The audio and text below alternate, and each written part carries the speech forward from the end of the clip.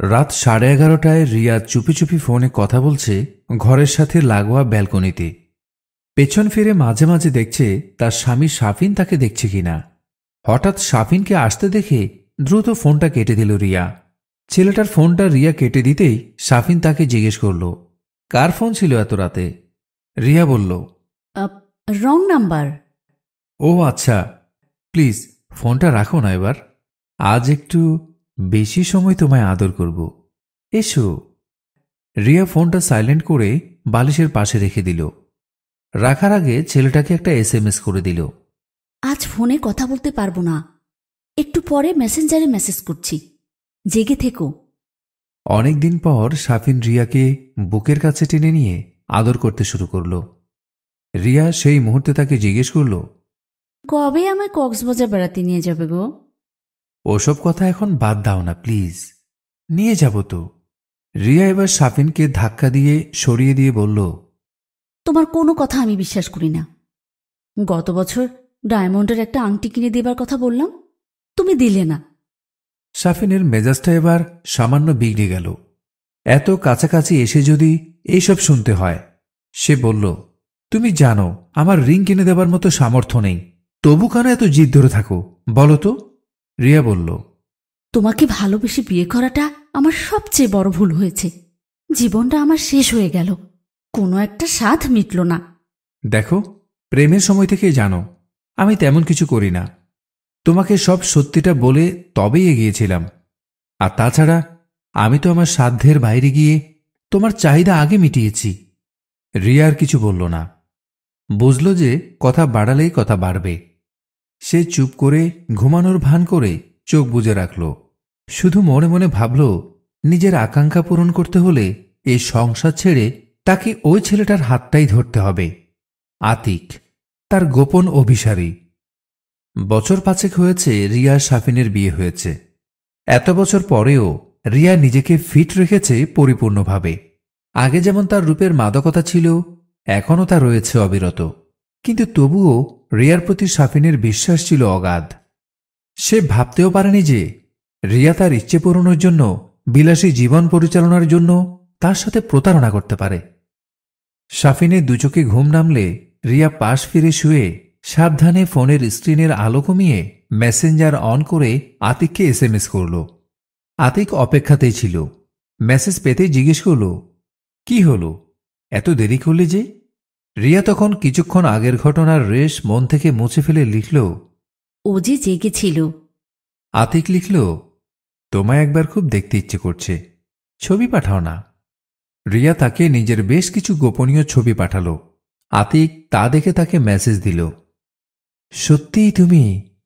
আমি কি? একটা বারুদ। এই এবার কিছু একটা ডিসিশন নাও আর কদিন আমায় অপেক্ষা করতে হবে। আতিকের এই কথাটায় রিয়া সায়না দিয়ে থাকতে পারল না। সেও পালিয়ে যেতে চায় ছেলেটার সাথে। তাই রিয়া লিখল তুমি ওদিকে সবকিছু ঠিকঠাক করে রাখো। আমি যত তাড়াতাড়ি পারি বাড়ি ছাড়ব।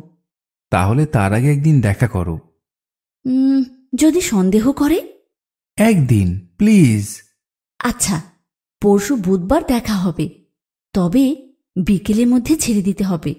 তা না হলে সাফিন সন্দেহ করবে। আর আমার একটা আইফোন লাগবে deer okay, done. Love you জান। রিয়ার ঠোঁটে ফুটে উঠল, হাসির রেখা। বুধবার রিয়া আতিকের সঙ্গে দেখা করল। শুধু দেখাই করল না, শরীরও বিনিময় হল। রিয়াও পেল তার আকাঙ্ক্ষিত আইফোন যেটি আতিক নিয়ে এসেছিল তার জন্য। রিয়া আসলে আতিকের রূপে গলেনি। সে দেখেছে তার ঐশ্বর্য, তার টাকা। রিয়া তার বিলাসী চাহিদা পূরণের জন্য আতিককে বেছে নিয়েছে। সে আতিকের কাছে যা পাবে সাফিন তাকে আজীবন চেষ্টা করলেও তা দিতে পারবে না। এক সকালে একটা চিরকুট লিখে রিয়া ঘর ছাড়ে আতিকের সাথে। সাফিন সন্ধ্যায় অফিস থেকে বাসায় ফিরে রিয়াকে কোথাও দেখতে পায় না। এদিক ওদিক খোঁজে। পরে টেবিলের উপর রাখা চিরকুটটাতে তার চোখ পড়ে। হাতে তুলে নেয় চিরকুটটা। তাতে লেখা আছে, আমায় আর খুঁজো না। আমি আমার স্বপ্ন পূরণের জন্য ঘর ছাড়লাম। ভালো থেকো। সাফিন ফেল ফেল করে চেয়ে রইল কিছুক্ষণ। দ্রুত ফোন করল রিয়ার নাম্বারে। ফোনটা বন্ধ পেল। তারপর মন মরা হয়ে ভাবতে লাগল টাকা পয়সায় কি সব? ভালোবাসার কি কোনো মূল্য নেই? একুশ দিন পর এক সন্ধ্যায় দরজায় কারও নখ শুনতে পেল সাফিন সবে মাত্র সে অফিস থেকে এসেছে। এ সময় কে আসতে পারে? দরজা খুলে চমকে ওঠে সে। রিয়া দরজার একটি কোণে দাঁড়িয়ে আছে। এ কয়েকদিনে বেশ শুকিয়ে গেছে মেয়েটা। সাফিন বলল তুমি? রিয়া খুব কাতর কণ্ঠে বলল আমায় একটু বাসায় ঢুকতে দেবে?